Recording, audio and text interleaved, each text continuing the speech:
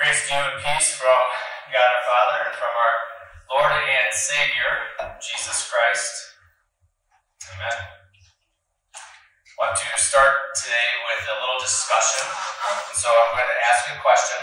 And before I put the question up on the screen for you to read, I just want to say, like, I know that as Christians and in church and as Lutherans, that uh, maybe we have a hard time speaking in in terms of any kind of uh, exaltation or, or um, promotion of our, ourselves, right? And so I recognize that, but I still think that we can have some healthy discussion around this question. And the question is is this What is your greatest accomplishment? Or maybe another way, what is your your greatest attribute, greatest quality about you. And so, to get the ball rolling here, uh, I will go first, but Dan, if you could take the mic and be ready to go to people, and uh, and, and, and Dan, you're kind of uh, you're, you're in line sight of, uh, of the camera right now. So, uh, and so if you could, yeah, there you go, stand back a little bit. Thank you. So, all right. So, greatest attribute, greatest accomplishment. Uh, there is definitely a time in my life, and I, I can look back at this time in my life, and one of my personal greatest attributes that, that I would uh, attribute to myself is my work ethic. Specifically, that has to do uh, along with uh, football, right? I was not the fastest, I was not the biggest, I was not the strongest, I was not the most athletic person on the football team. But there is no one that spent more time in the weight room than I did. Uh, there is no one that spent more time at workouts than I did. And, and uh, I can say uh, and I, I, part of that work ethic for me came from my dad, who also worked incredibly hard. Uh, uh, I'll also I'll go on to say, like, today, more recently, one of my, my accomplishments, and you know, tread lightly when I say it that way, but uh, I would just say uh, our family is uh, a family that's not perfect by any means, but we try to center our life in the Lord. And I remember before getting married, I used to uh, hope for, envision, uh, pray for a godly wife, godly children, and by God's by God's grace, um, that's my reality today. So those are, are two of the things that I would want one attribute, one accomplishment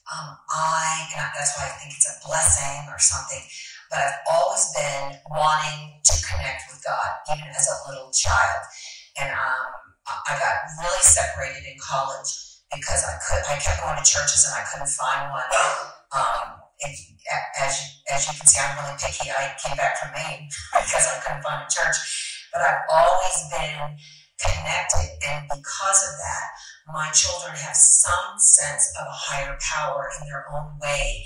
And, and to me, and I always, and Juliet would say to me, um, I don't even know that think that you knew what you were saying to me when you said these things, but you knew it was the right thing to say, even if that moment you were feeling lost and in the middle of a divorce and that you said things to me that I will never forget because I think that God was uh, chasing it or, or, wanting me to be um, connected from such a young age. And Um, so, and my kids are both different in the way that they communicate with God, but because um, if I strayed away, I came back.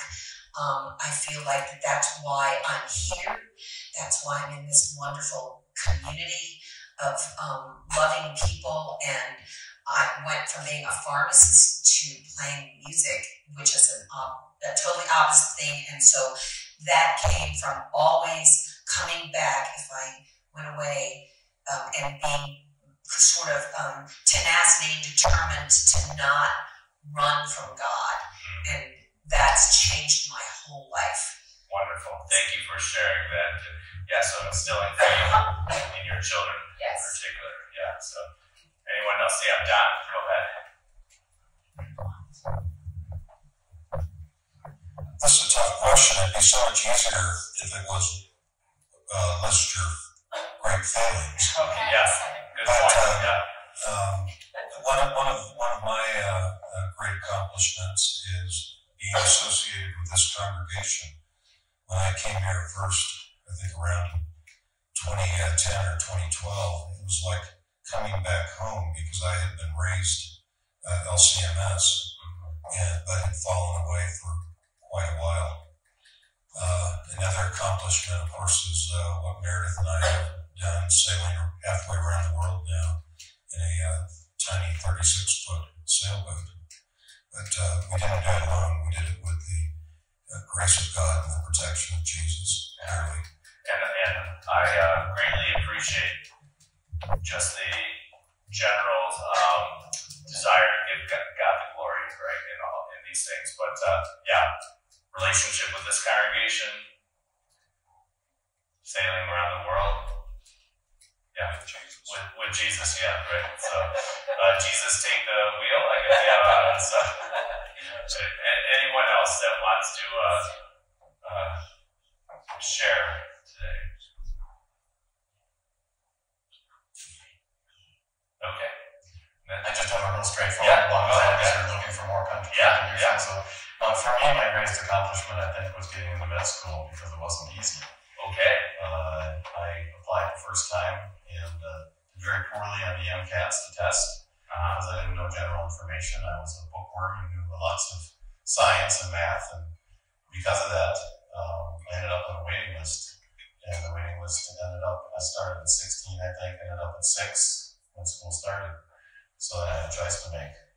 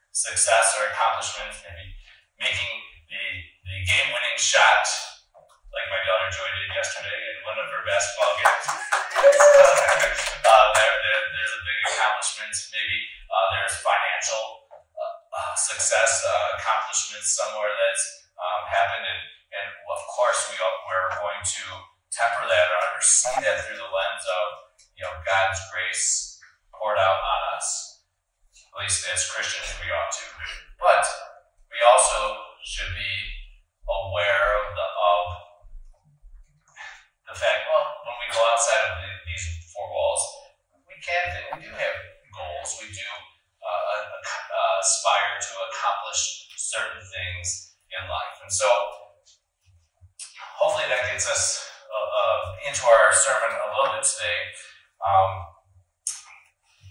we're in Lent. We're in a series, uh, our Lenten series called Giving It Up.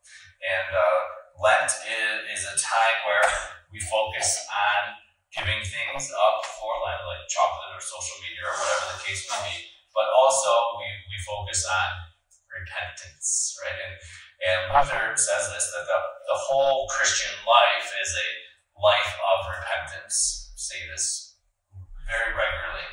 But here in, in Lent, during this season, you focus on repentance. And according to the Lutheran confessions, uh, repentance, there's, there's two parts of, of, of repentance a contrition for our sin, and that comes mainly from the, the preaching of the law, God's law, and shows us our, our sin, right? But then also a faith in Christ. So repentance has, has both uh, contrition for sin and faith in Christ. And faith, where, where does that come from? How is that instilled in us? How, how are we able to do that? Well, through the preaching of the gospel, through the preaching of our uh, uh, Lord Jesus Christ and his cross and the forgiveness of sins. And so we're, we're going to focus on this season, this Lenten season, uh, giving certain things up, and specifically, uh, we're going to take a look at things like worldly wisdom. A little bit more about that as we get into our text, but let's uh, let's get into our text. If you've got your Bible, I encourage you to turn to 1 Corinthians chapter 1. We'll be starting at verse 18. And just a little context for, uh, for this letter written by the Apostle Paul, right? So 1 Corinthians, Corinth uh, was, is a city in Greece that uh, the Apostle Paul planted a church in a few, a, a few months, maybe a couple years uh, before writing this letter. It's it's a city, it's one of the big cities in the Roman Empire, and so uh, has some uh, big city issues along with it. It's a, a, cultural crossroads, and so the way that this that it sits, Corinth sits on um, um, the on Greece, is it's right on the what's called an is, I'm sorry, let me say isthmus. Yeah, thank you Yeah, isthmus.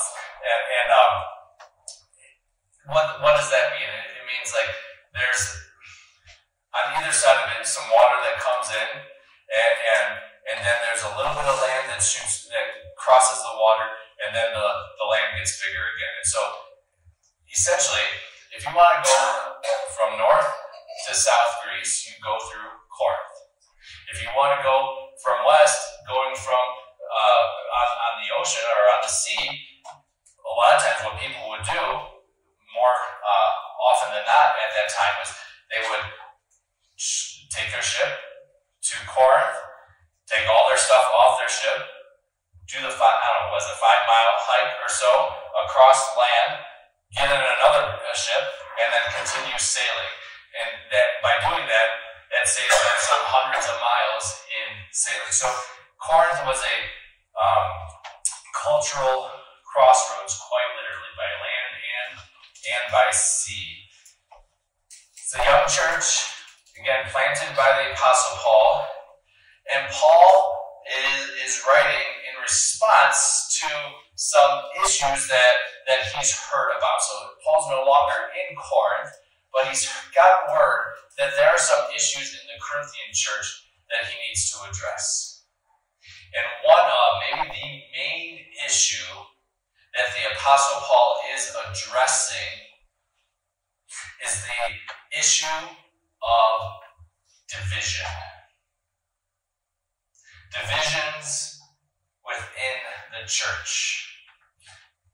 Go back a couple verses before our text. Look at verse 10. The Apostle Paul says, I appeal to you, brothers and sisters by the name of our Lord Jesus Christ, that all of you agree, and that there be no divisions among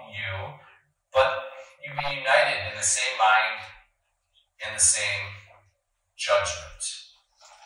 So that here's the issue, and if we read through the letter of First Corinthians, I mean, we, we see this issue come up again. We'll, we'll see it come up around the Lord's Supper uh, in chapters 10 and, and 11. But here, it's not so much that Paul is talking about the, the Lord's Supper. He'll, he'll get to that. But what are the divisions in the church? What's causing strife within the membership? Well, it's this understanding of, of wisdom and power and strength and status that is seeping into the congregation. You know, think about it.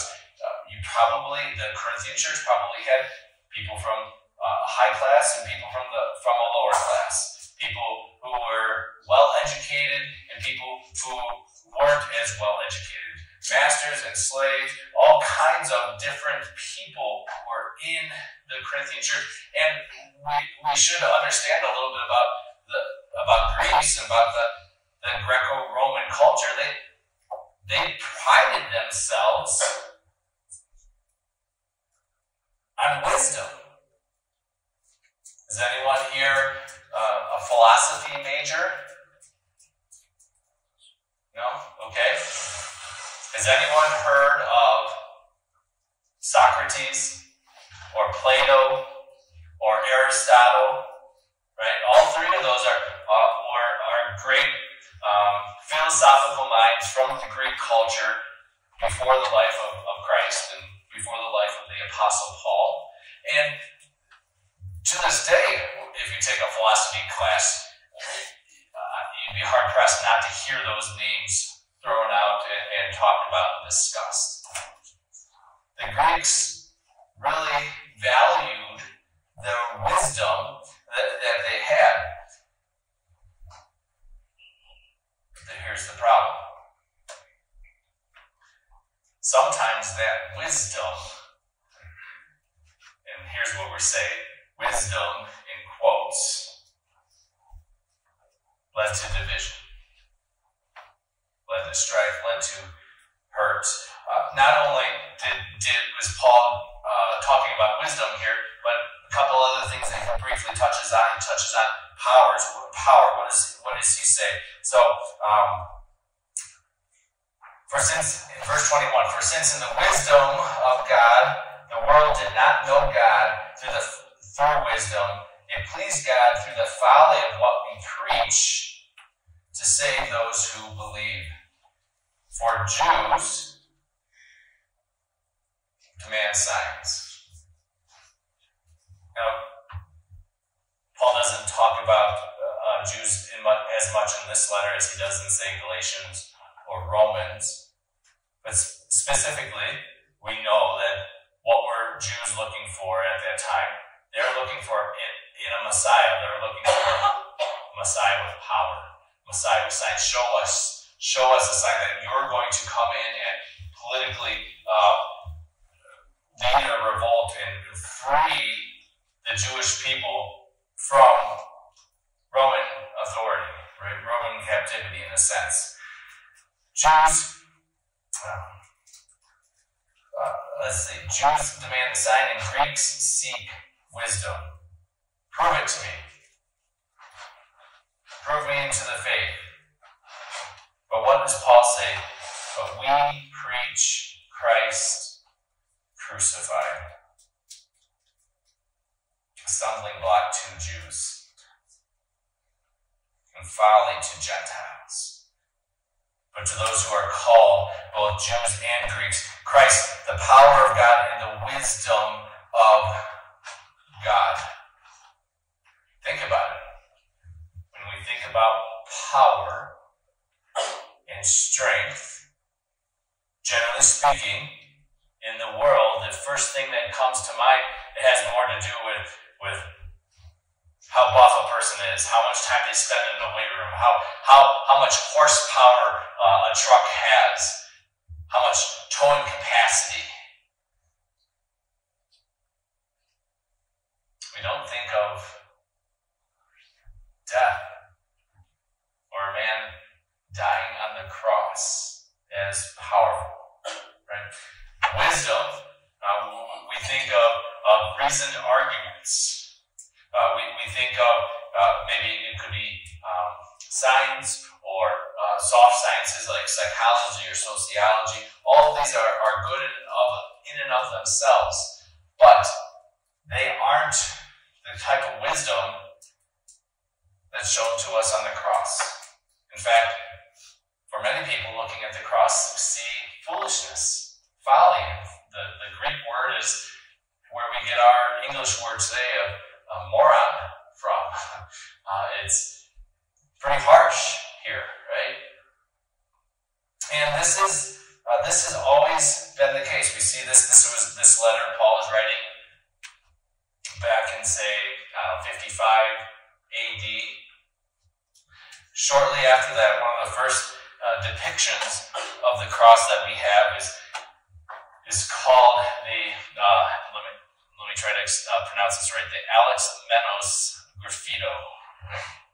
It's referred to this, and so on the left is is the graffiti.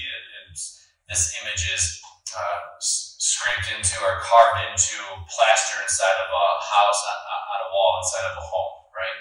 And and the, on the right, it, it just clarifies kind of. It's really hard to make out the, that image, right? But on the right, we can see what that image is intending to be. And what we see is someone on a cross. Can kind of make out the cross there. But what's the the head of that being? It's like a horse or a donkey, right? And I should say that this was we date it's hard to date this specifically or, or accurately, but somewhere around 200 AD that this was created, and we we found this. And those letters, the writing, they say this Alexamenos worships his God. So most people understand this to be, well, graffiti, right? Like, uh, there's uh, uh, other names for this, uh, blasphemo, blasphemy, uh, graffito, right? Uh, this is seemingly someone making fun of this man named Alexamenos, uh, um, making fun of his faith. How foolish that he worships a God who hangs upon a cross. That's so, such folly in that, according to worldly wisdom. What's Paul's concluding point? What's he to get there, get to uh, from there? We read this the, at the end of our text, 1 Corinthians chapter 1, verse 31. Let the one who boasts boast in the Lord. Right? We don't boast of our our wisdom or our accomplishments or our power or our strength or our class that we're uh, born into, we boast about Jesus. Because what Paul wants more than anything else at this point is for the church to be united. So we can we can think about this, and, and it's pretty easy, at least for me, to point the fingers out to the world and and say, see, that's just some worldly wisdom, maybe around the creation and evolution discussion. Well, we would see, like, God, God can raise a dead man from the grave. God can also speak into existence our world. and we can we can believe in that, but in the eyes of the world, that can be seen as foolish or oh things like relationships. Before you get married, should probably date a long time, have a long engagement. That's the, the thing in the world. You know, I, I um, heard one, one person put it this way that um, before you buy a car, you test drive it. Before you get married, you should probably test drive it. You can imagine where that was going. Um, point maybe in worldly wisdom to things like the issues around life. When does life begin? We would say at conception as Christians, but in the eyes of the world, you're, you're just a woman hater.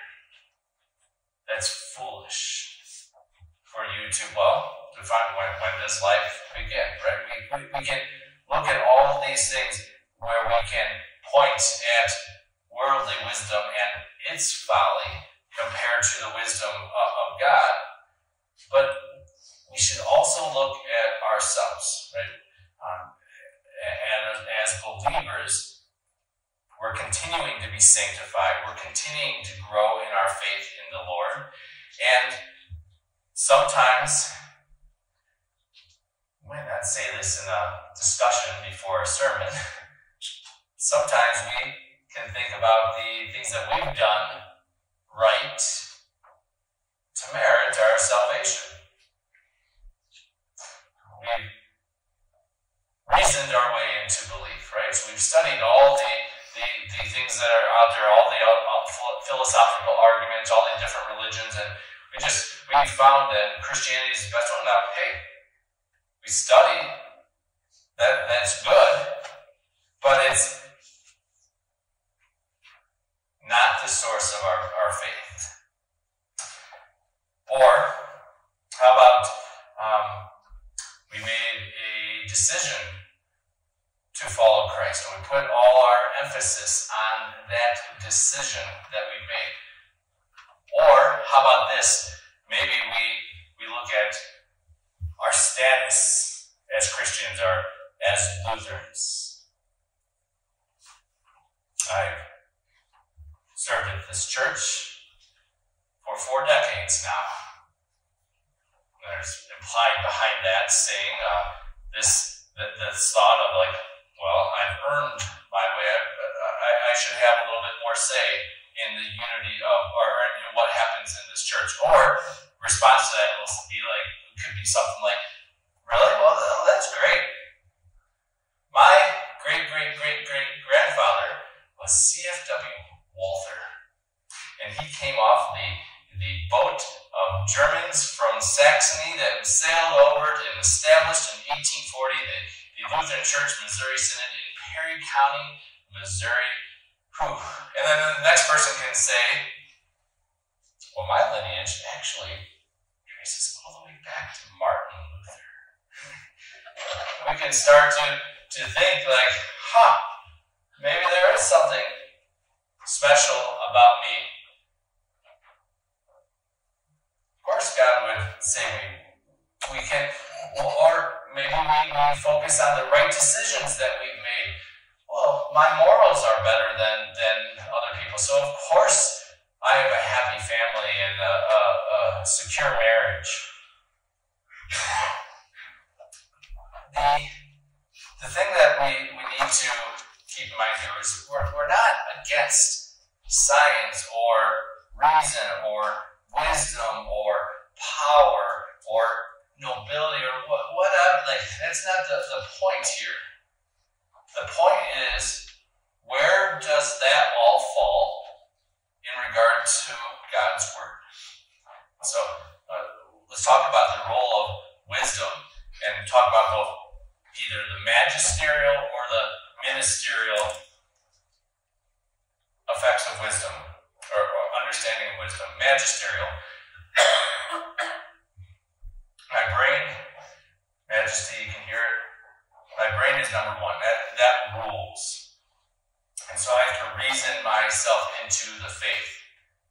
Uh, and we, we hold intellect up above everything else, including the Word of God. And so here's intellect, here's reason, and there's the Word of God, and I stand over it. And what, what, what happens there is, well, when we look at the Word of God, we find a verse that we don't like, that's hard for us, we can maybe dismiss those verses. However, as Christians, what we, we hold to is what's referred to as a ministerial role of wisdom. minister as in a servant role of wisdom. The magisterial role belongs to God's word. And so we've been given wisdom, we've been given science, we've been given reason, we've been given schooling, we've been given intellect, we've been given all these things. However, all of that stands underneath the Word of God. It stands underneath the cross of Christ, the foolishness of God, because the foolishness of God is uh, wiser than our wisdom. God had this understanding to call us into faith. Why are we here? Why are we gathered together as a church body? It's not because we're so smart. It's because God's called us. He's called us together as a family, as a family on mission. He's called us by the power of Christ. He is taking care of everything that is a hindrance, a block between our relationship with Him and our relationship with one another. He has called us and done so for eternity, for Christ's sake. When we look at the cross, we recognize that's the wisest thing that this world has ever known. Last week, we had our first committee meeting of the, the Committee for Chancel Enhancement, right? And one thing that came out clearly, uh, loudly in that discussion as we look at how we can beautify this, this area. And one thing that made my heart as a pastor very happy is that everyone in the committee said, how do we make the cross more prominent, more bold? How we get it to stand up more? Because that is what our faith stands on, rest on. It's the, the cross of Jesus Christ and the forgiveness that He has given to us. So here's the, the question that I want to leave us with. And if you want, you can take out your worship bulletins here. Notice, do have a couple questions under the sermon notes here. What good news is is God saying to you today? You know, for me, it has nothing to do, my salvation has nothing to do with my work ethic, has nothing to do with my family, has nothing to do with anything that I've done. It has everything to do with the fact that Jesus has called me to follow him. And then second question is, in what way is worldly wisdom hindering your worship of Jesus? And I wrote it a little differently here. Uh, or your relationship with other Christians? Is there a way where your pride, your wisdom, your power is getting in the way of your relationship with others, God and other followers of Christ? And what might be some ways that you can give that up this Lent so that you can follow Jesus more, more closely.